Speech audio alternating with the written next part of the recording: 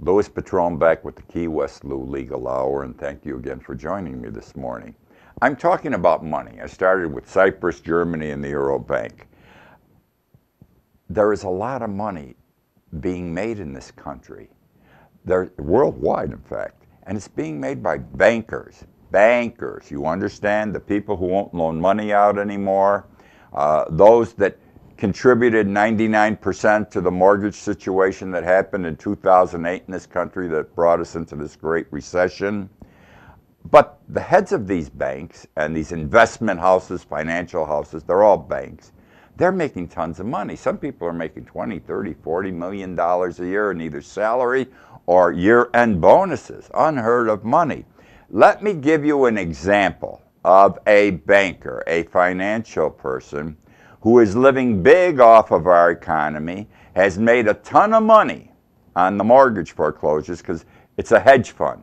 And hedge funds bet against where they, people normally think the market's going. They bet against the success of the mortgage industry, banking industry, and they made a ton of money. It's a gambling game, so to speak. His name is Steven Cohen.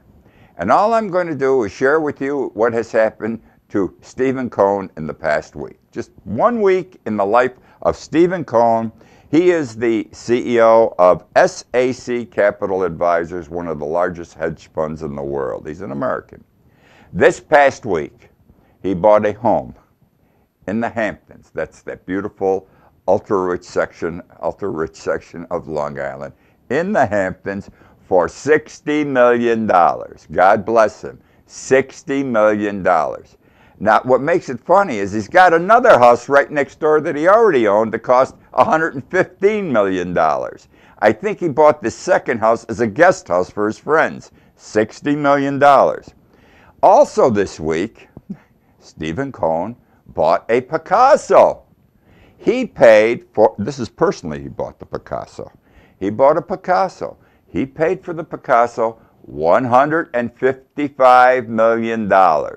Lot of money. You got two commitments by this guy in one week 60 million, 155 million. That's not the end of it. He didn't spend any more money, but in reality, he's going to because he's going to be fined. He's under investigation by the SEC and everyone else for what we call insider trading. People who trade are not supposed to know, invest because they have knowledge about what's going to happen. It's a crime. And it's a civil proceeding, subject to approval, though, by a federal judge. And the government has brought this proceeding against him, charging him with violations of the law for insider trading. trading. He is one of the claims against him, he has agreed to settle. Not all of them, but one he has agreed to settle this week for $616 million. You heard me. First the 60 for the house, then the 155 for the Picasso. Now he's going to spend $616 million to pay money that's owed or fines and penalties to the government. And that money, the articles say, is, are coming, that 616 million is coming out of Steve Cohen's pocket. He's going to pay it personally because he's going to pay it through a corporation he owns, but he owns the whole corporation, 100% of the stock, some little corporation. So all I'm trying to do is show you that while people are still struggling in this country, forget the rest of the world. We got to be selfish for a moment. While people are still suffering in our country, there are people in our country eating big 60 million, 115 million, 55 million, and $616 million committed in one week. That's a lot of money, and it's wrong. It's the rich getting richer while the poor stay poor. Now, I want to give you another example of how things have been working. Uh, the rich get richer and the poor get poorer. There is a fellow by the name of David K. Johnson. David Cay Johnston. He's a Pulitzer Prize winner. He's an economist. Uh, he, he had an article this week in Huffington Post. And it was a very good article. And he talked about the disparity between the rich and the poor in this country. And he did it very well. He says that in the last 50 years, from the year 1966 to 2011, 1966, 2011, which really 47 years, okay? In the last 47 years, he compared the income of the poor and the income of the rich, took inflation into account. because your buying power is affected by inflation. In the bottom 90% of our society, the bottom 90% of wage earners, so to speak, in the last 47 years, from 1966 to 2011, your buying power went up $59. That's all, $59.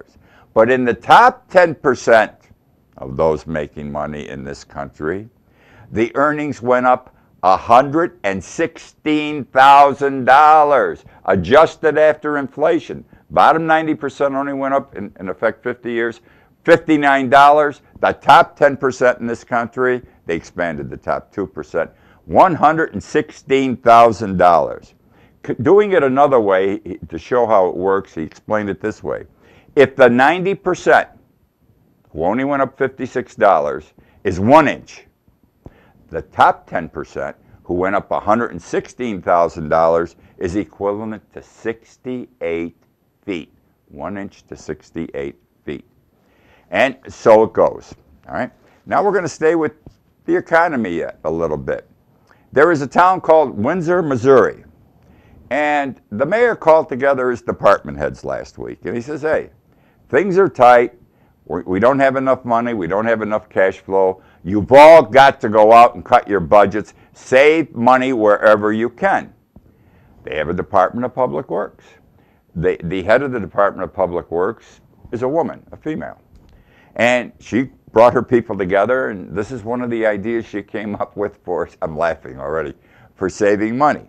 She told her male employees that they would have, from this point forward, to bring their own toilet paper to work. It would not be provided. However, this did not affect the women who were working in the Department of Public Works.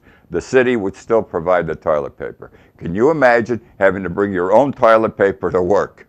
Anyhow, the mayor heard about this, had another meeting, went crazy. It wasn't intended to be this severe, and so now everyone's getting toilet paper again. That's the way it goes, though. We're going to go now to the Supreme Court this past week had two days of hearings on gay marriage, same-sex marriage, whether it's constitutional or not. We all know what went on there. I'm not going to bore you with that again. But this, these were historic arguments, uh, no question about it. An historical moment in the history of this country, in the history of the Supreme Court and their decision making. Now, the Supreme Court has very few seats. It has limited seats. It has about 500 seats for, for people who want to go and watch the proceedings. But 200 of those or 300 are taken up by personnel, Supreme Court, people who have already got, uh, uh been admitted. There's only about 100 to 200 seats available for the public to walk in. Well, and they have tickets. They give you a ticket for this to go in. Everyone wanted to see this show for want of a better term. And the only way you could get a ticket, it was first come, first serve, was to stand in line. Now, the first argument was Tuesday, the second argument was Wednesday. In order to get a ticket for Tuesday or Wednesday, you had to stand in line from Thursday. You had to get in line Thursday and stay there overnight, 24 hours a day, Thursday, Friday, Saturday, Sunday, blah, blah, blah. And you work out your own details, how you're going to live. How many people can afford the time to do this? How many people want to do this? I think they can afford. How many that would want to be there, but how many would do it? It's a gross inconvenience. Well, there are companies, as it turns out, in Washington, D.C., that will stand in line for you, okay, and buy a ticket. They will stand in line for $36 an hour. Most get $50 an hour.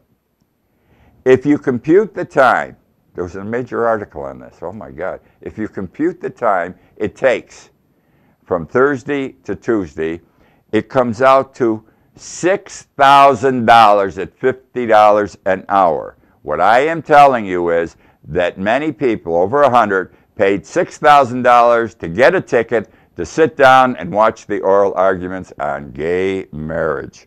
Oh my God we should televise the Supreme Court proceedings, then we could all watch it for free. All right, we are going now to break in a few seconds. When you return, or when I return, I'm going to talk about what goes around comes around. I'm going to talk about the Catholic Church. I'm going to talk about birth control, contraception. I, I'm going to talk about Obamacare, and I'm going to talk about Boston College, a Jesuit institution where something is brewing and is going to explode this week, in my opinion. So please stay with me, folks. I'll return after the station break.